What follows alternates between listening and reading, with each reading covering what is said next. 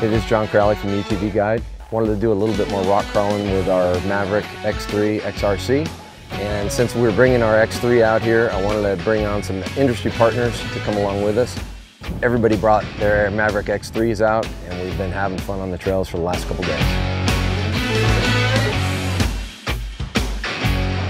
So the Maverick X3 RC is a great rock crawler right out of the box, but I like to customize things to suit my taste. And so what I've done to this car is add a no limit cage, uh, no limit front arms, Vision X lighting, rugged radios, ZRP radius links, and billet knuckles, Assault Industries mirrors and fire extinguisher.